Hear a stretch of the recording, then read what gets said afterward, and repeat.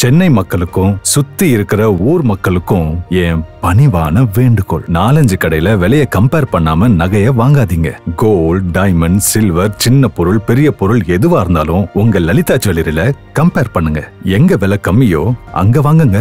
காசு யாருக்கும் சும்மா வரல. Lalitha jewellery T Nagar Anna Nagar Purasawalkam Chromepet Chennai. எங்க கிட்ட தான் வாங்கணும்னு சொல்லல. எங்க விலை கம்மியோ அங்க வாங்கணும்னு தான் சொல்றேன். நீங்க கஷ்டப்பட்டு சம்பாதிச்ச காசுங்க.